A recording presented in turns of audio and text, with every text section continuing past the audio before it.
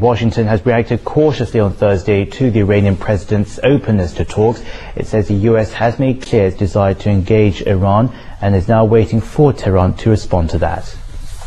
Well, we've said all along that Iran is entitled to have a civilian nuclear program, but with uh, that program comes responsibilities.